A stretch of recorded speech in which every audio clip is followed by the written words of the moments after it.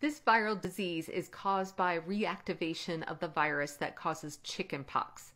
Reactivation can occur due to factors such as fatigue or stress. This disorder causes abnormal skin sensations, such as a burning feeling, followed by a painful unilateral rash that runs along a dermatome. So, a dermatome is an area of the skin that is supplied by a single spinal nerve. Patients with this illness will need to be placed on airborne and contact precautions. Name that disorder and put your answers in the comments.